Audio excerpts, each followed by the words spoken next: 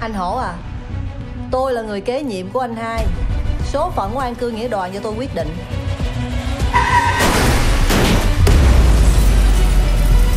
Nhưng số phận của mình đôi lúc không phải do mình quyết định đâu. Tụi này tin anh hai mới giao cho chị. Bây giờ khi anh hai mất Vũ trường có hàng là sao? Ý mấy anh nói là chị tôi cùng phe giác hổ á hả? Từ bây giờ trở về sau không có anh em gì hết Muốn yên ổn làm ăn coi bộ khó. Mỗi lần cần chỉ cần kêu tên đường băng là tôi sẽ hiện ra sau lưng bà giống vậy. Tụi mày không biết tụi mày đang dây vô cái gì đâu. Giờ bà cần tôi đỡ giùm bạn gia cũng được mà 13. Hôm nay tôi phải tỉnh táo. Tôi có chuyện quan trọng phải làm.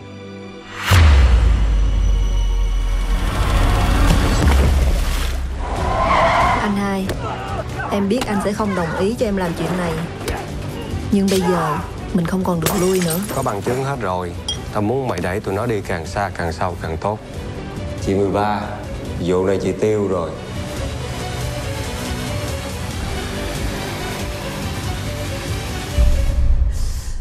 Đường băng Tôi không để cho anh chết quan đâu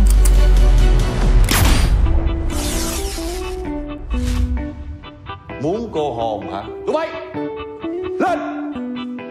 Tụi mày điếc hết hả? Lên! Anh muốn lên đâu